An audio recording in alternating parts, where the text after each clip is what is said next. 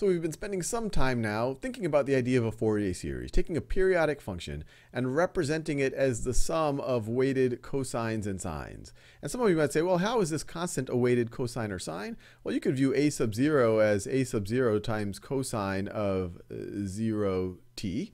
And of course, cosine of 0t is just 1, so just, it'll just end up being a sub 0. But that could be a weighted uh, cosine if you want to view it that way. And in the last video, we started leveraging some of the integrals, definite integrals of sines and cosines to establish a formula for a sub 0, which intuitively ended up being the average value of our function over over one of its period, or over 0 to 2 pi, which is the interval that we are caring about.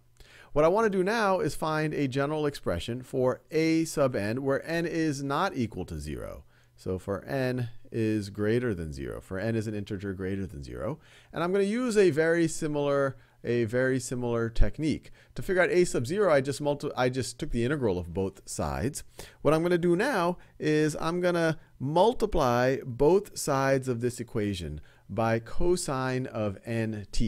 So let me do that. So on the left-hand side, I'm going to multiply by cosine of nt. And on the right-hand side, multiplying it by cosine nt, if I distribute that cosine of nt, I'm going to multiply every term by cosine nt.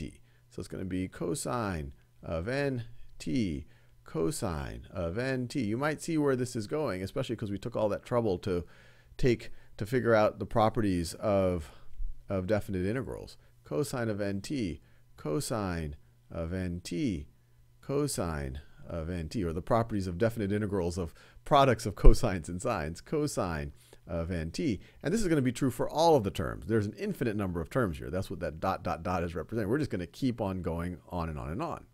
And now let's take the definite integral of both sides from 0 to 2 pi. So the definite integral from 0 to 2 pi dt, well, that's going to be the integral of this from 0 to 2 pi. And actually, let me just take that coefficient out of the integral. So 0 to 2 pi dt, so 0 to 2 pi. Dt, a little bit monotonous, but it's worth it. 0 to 2 pi. Dt, 0 to 2 pi. Dt, we might as well have fun while we do it. 0 to 2 pi.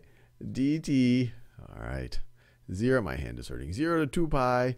Dt, 0 to 2 pi dt. Once again, just integration property. I'm taking the integral from 0, the definite integral from 0 to 2 pi of both sides, and I'm just saying, hey, the integral of this infinite sum is equal to the infinite sum of the different integrals.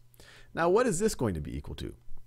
Well, we know we know from before that if I just take the definite integral from 0 to 2 pi of cosine nt, where n is some non-zero integer, this is just going to be 0. So this whole thing is going to be 0. We also know, and we've established it before, if we take, so I just used this property. We also know if we take cosine nt times sine of mt for any integers mt over the interval from 0 to 2 pi, that's going to be 0. And we also know, we also know that if we take the integral of cosine mt cosine nt, where m does not equal n, where m does not equal n, that that is going to be 0. And so we know, well here we have, we're assuming that, we're assuming here that n is not equal to 1, the coefficient here. So that is going to be equal to 0. This is sines and cosines with different coefficients, and frankly, even if they had the same coefficient, that's going to be 0. We established that in the last few videos. This is going to be 0, same argument. This is going to be 0. This is going to be 0. Everything's going to be 0 except for this thing right over here. But what is this thing? This is the definite, what we're taking the integral of. This is the same thing as cosine squared of nt dt. The, the definite integral from 0 to 2 pi of cosine squared nt dt. Well, what is that? Well, we established that for any m non-zero m, this is going to be equal to pi. So all our work is paying off.